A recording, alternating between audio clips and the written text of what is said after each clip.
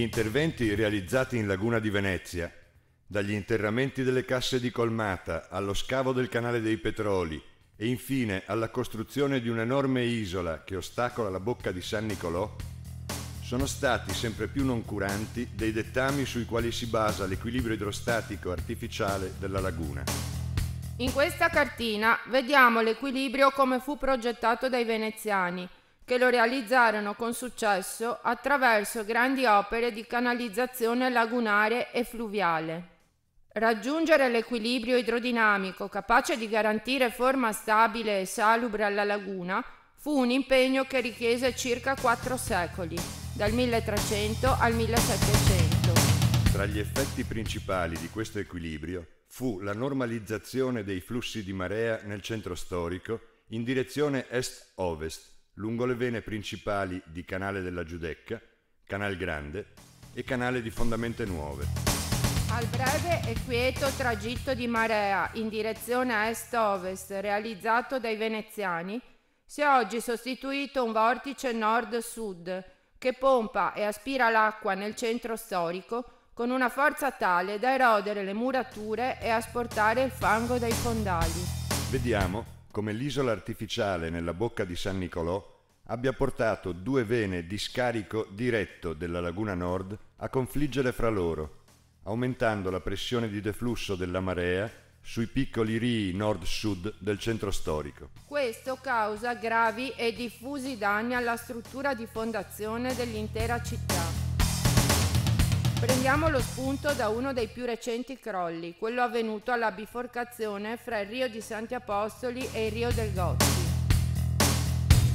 Tale angolo di casa è fra i più esposti al dente della marea calante che viene resa sempre più veloce e vorticosa dall'enorme risucchio esercitato dal canale dei petroli, divenuto recentemente ancora più efficace nella sua azione distruttiva a causa del restringimento della bocca di San Nicolò.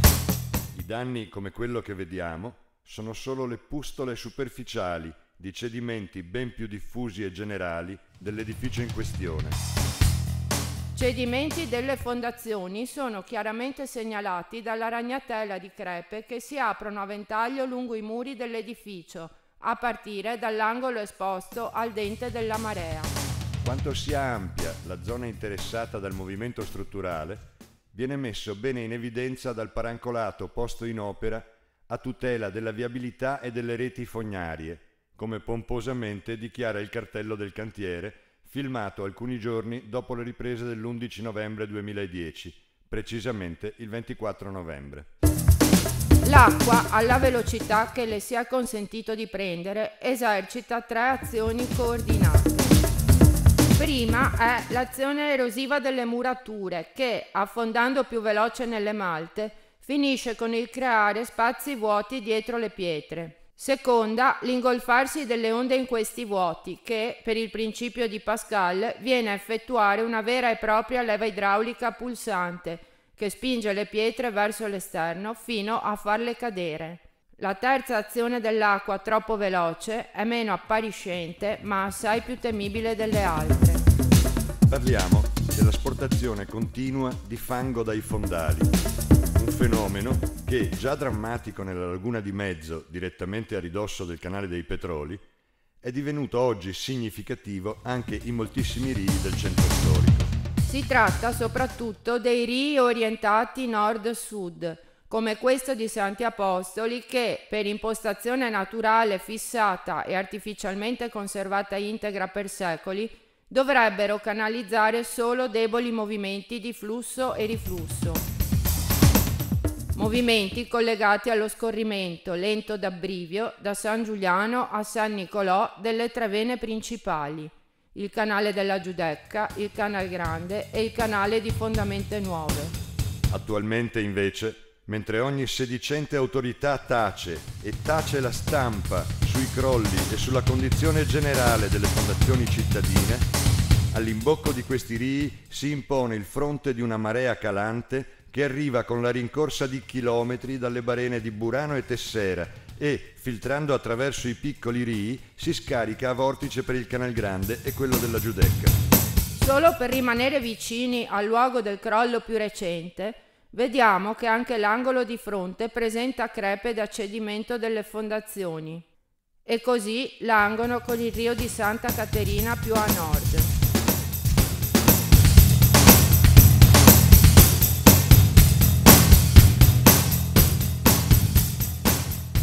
e quello con il Rio Widman più a sud.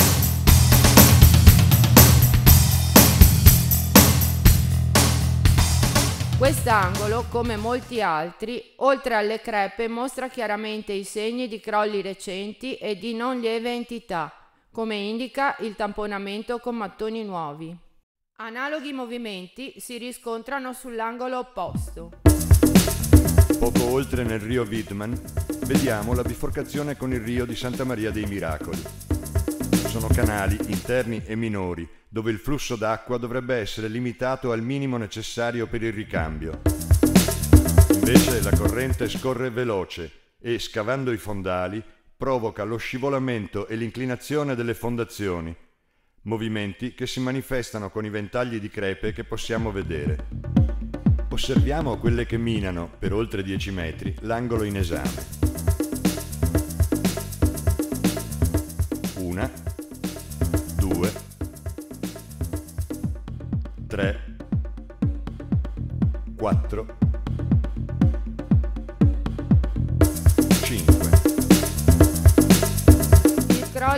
Del Gozzi non è che uno delle centinaia che ormai da anni sordidamente vengono raffazzonate con tamponamenti di calcestruzzo o di mattoni di ogni foggia e colore, al punto di ridurre i nostri muri a patchwork dove spesso i mattoni più nuovi sono persino più malconci dei vecchi, data la scadente qualità delle moderne pietre edificatorie.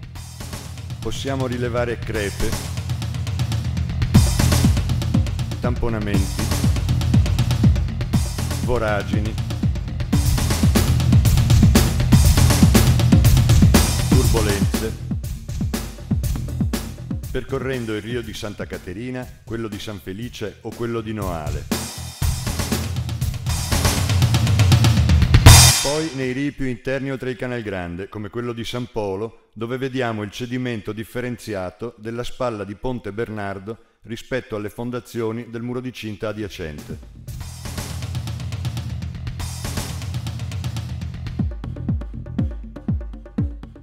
Nel Rio delle Muneghette, ancora più interno e quieto, oggi le turbolenze sono quanto mai preoccupanti, come preoccupante è il loro effetto sugli edifici.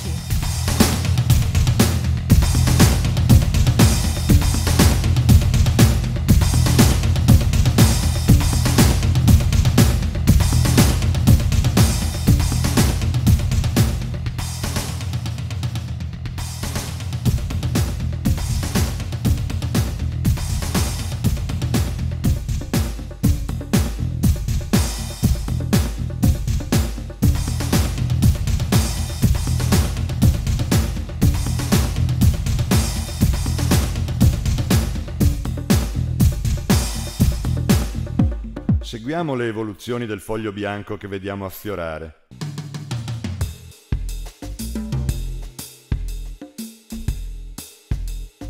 Esse mostrano come, alla turbolenza visibile nelle increspature della superficie, corrispondano correnti vorticose in profondità.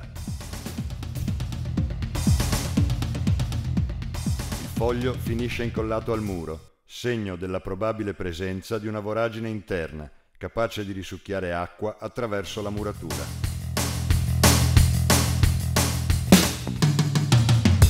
Chiunque si muova in barca per Venezia può osservare che questi fenomeni sono ormai endemici e tali da mettere in pericolo non solo gli edifici, ma, perdurando l'incuria per le leggi lagunari, le stesse terre emerse su cui gli edifici sono costruiti. Abbiamo evidenza di questa affermazione osservando la sorte in atto per le isole più esposte e meno difese dall'azione di risucchio della bocca di Alberoni. Queste isole, con le proprie condizioni, illustrano il progredire della distruzione verso il centro storico. Quasi totale erosione per quelle più vicine al mare, dove i vortici creati dal canale dei Petroli e dal tappo a San Nicolò raggiungono il pieno della loro potenza e velocità. Rivola Vecchia, Cornio, Torson di Sotto, Fisolo sono ormai non più abitabili e praticamente scomparsi.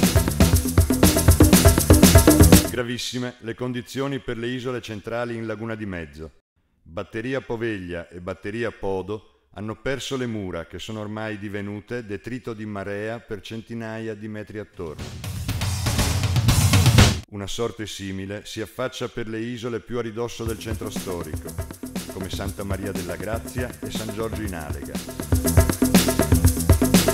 Sono isole che erano ancora perfettamente integre negli anni 70 e che solo negli ultimi dieci anni hanno cominciato a mostrare danni strutturali causati dall'azione erosiva delle acque. Pur recenti, questi danni progrediscono con inquietante accelerazione. Vale purtroppo per il fenomeno un effetto di incremento costante, per il quale più potente è la corrente e più scava, più scava e più potente diviene. Le acque lagunari devono venir governate nell'esclusiva osservazione delle loro leggi naturali, sottili e complesse quanto imprescindibili. Non è ammissibile che del gioiello idraulico costruito dai veneziani si faccia preda da sbranare in canee di interessi privati, associati a delinquere contro la Repubblica sotto forma di partiti. Non solo ciò non è ammissibile per alcun veneziano degno di questo nome, ma come stiamo vedendo non viene consentito dalla natura stessa, che a fronte dell'insipienza colpevole dell'uomo vuole riconquistare al mare e all'instabilità costiera la gemma che aveva consentito a ben altri uomini. Il bene comune dei veneziani, raffigurato a chiave di volta nel palazzo dei Camerlenghi come un putto alato e calvo che reca la cornucopia. Bambino, perché come un bimbo richiede cura amorevole e disinteressata. Alato, perché ideale prima che materiale. Calvo, perché nessuno possa afferrarlo per i capelli e trarlo dalla sua parte. Solo così concepita, la Repubblica reca prosperità e abbondanza al popolo. Solo così concepita.